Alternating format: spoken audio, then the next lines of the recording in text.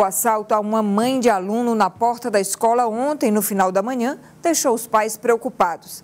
Nesse momento, eles estão mais vulneráveis porque estão com a atenção voltada para as crianças e ainda têm que tirar ou pôr o material escolar dentro do carro.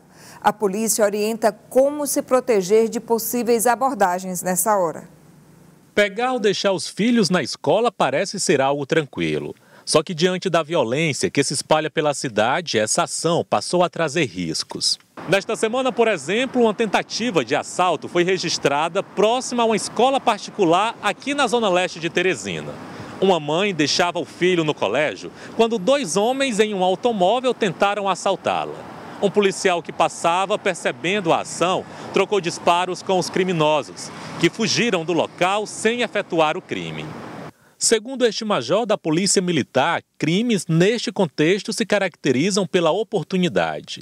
Às vezes, a tomada de certas decisões podem ajudar para que você não seja um potencial alvo. Os roubos eles acontecem no embarque e no desembarque, seja de residência, seja de algum local. Então, é sempre importante você estar todo o tempo atento.